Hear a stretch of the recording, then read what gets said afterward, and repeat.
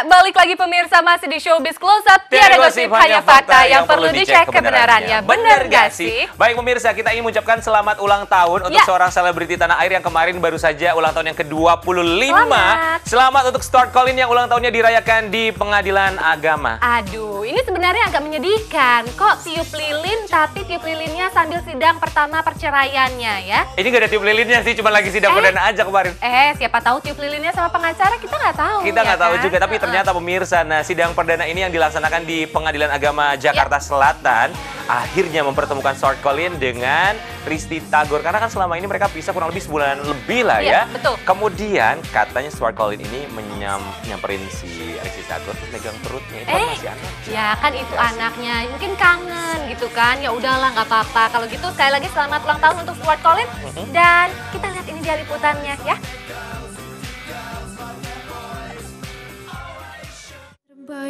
Akan jadi seperti Kisah rumah tangga antara Risti Tagor dengan Stuart Colin akhirnya memasuki babak baru di Pengadilan Negeri Jakarta Selatan. Kemarin, tepatnya tanggal 28 September 2015, sidang perdana mereka akhirnya digelar yang juga merupakan hari ulang tahun Stuart Colin. Sebelum memasuki ruang sidang, terlihat Risti Tagor sangat tenang. Namun berbeda dengan Stuart Colin yang sedikit agak tegang. Di dalam ruang persidangan, baik Risti dan Stuart enggan duduk bersama. Mereka hanya duduk berdampingan dengan pengacara masing-masing. Namun, keberanian terlihat dari Stuart Colin yang sempat menghampiri Risti Tagor.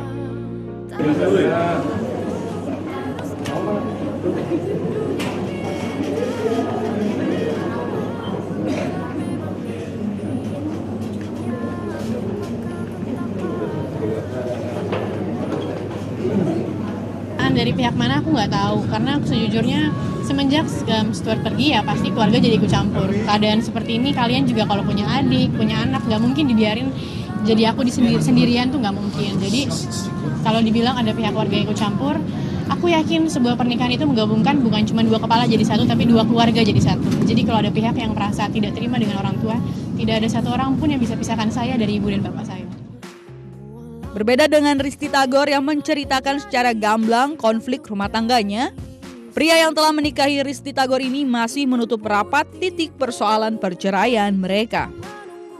saya udah bilang sama keluarga saya, saya tidak akan pernah mau buka sedikit pun cerita apa pun ini, eh, karena ini buat saya aib ya, Eh, aib keluarga dan aib keluarga itu bener-bener apa privacy banget gitu. Yang pasti, yang pasti sedih ya, soalnya kan bagaimanapun juga eh, tidak akan pernah ada mantan anak kan.